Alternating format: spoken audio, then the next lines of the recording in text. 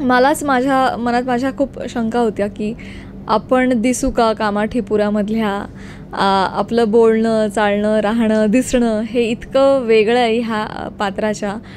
तर आपल्याला हे जमेल का? भाषा शिव्या एक दोन शॉटमध्ये बिड्या मारायच्या होत्या. एक दोन शॉटमध्ये दारू प्यायची होती. हेच आपलं जमेल का मुळात? तेरे को? मैं बोल रही तू रात भर मेरे को यहाँ सड़ा नहीं तो नहीं तो चढ़ मेरे पे कुछ भी कर. मैं झट पैसे नहीं देते तेरे को हाँ। पण पात्र इतकं इंटरेस्टिंग निघालं की मग असं झालं की नाही करायलाच पाहिजे. हेच ते. हाँ? हाँ?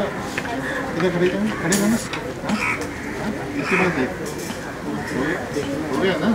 हो गया ना या फिर। आजा फिर शूटच्या काही चार पाच दिवस आधी प्राजक्ताला घेऊन आम्ही कमाठीपुरात गेलो होतो. बायकांशी बोललो तिथल्या मुलींशी बोललो. आणि तेव्हा प्राजक्ताला रत्ना कुठंतरी दिसायला लागली. मैं मैं फेस पे नहीं. फेस पे मत मारिए प्लीज ओ सानप चेहऱ्यावर नका मारू. चेहरा बघून तर खाली टाकतात. तेजूताई सोबत एक तिला मारायचा सीन केला होता. मला खरं तर खूप भीती वाटत होती कारण पटकन एखा एखादा पटका जोरात बसला तर काय करायचं? पण तिने मला खूप कम्फर्टेबल केलं. सरांनी सांगितलं की हे मला नाही असा हवं सिंपल पण त्या सिम्पलमध्ये ना दम होता म्हणजे सरांनी ज्या पद्धतीने करून दाखवलं ना की अगदीच आरडाओरडा करण्यात काय मजा नसते. आंबरे. आंबरे. मी नेहमी असं म्हणतो ना की तुम्हाला जेव्हा कळत नाही की अरे छान ॲक्टिंग केली आहे छान मेकअप केलं आहे छान कपडे झालेत हे तुमच्या डोक्यात जेव्हा सुद्धा येत नाही ना तेव्हा ते स सर्वोत्तम असतं.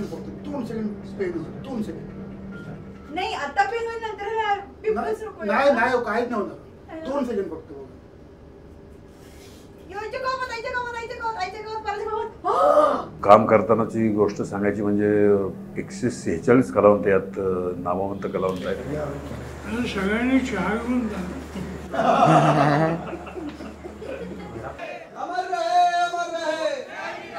तर ज्यावेळेला हे मी काही जे काही दिवस शूट केलं त्यावेळेला चारशे पाचशे लोक रोज सेटवर.